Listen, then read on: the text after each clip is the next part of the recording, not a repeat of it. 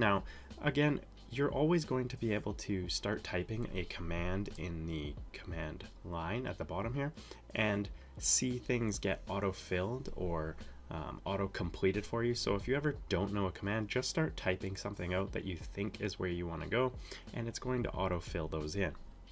But for ones that you can quickly type in, MA is your match properties. So this is going to match the properties between one object to the other object, uh, starting with the one you'd like to copy from, and then the object you'd like to copy to. So again, MA and enter is going to start the match properties command.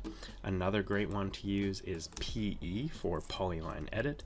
And you can see here if I've got a polyline drawn and I type in PE enter, it's going to ask me to select a polyline and then I can choose all of the typical p edit commands, which would be edit a vertex, fit, decurve, line type generation, reverse align, close, etc. Next up, if you didn't catch that, I typed in PL to create a polyline. So PL and enter is going to start the polyline command. This is one you're going to use a ton.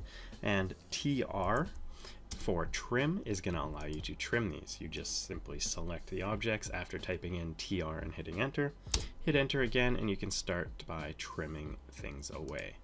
Next up, you can see I've got this irregularly shaped polygon over here. If I wanted to hatch that, you can simply type in H for hatch to bring up the hatch ribbon panel up here. Another one that's super useful is D and I for distance. Hitting that and typing enter is going to allow you to select any two points to get a distance down in the command line here. It's going to give you your delta as well as the total distance. If you make this a little bit taller here, you can see the total distance is 41 feet, 5 inches, and 5 and 3 quarters inches.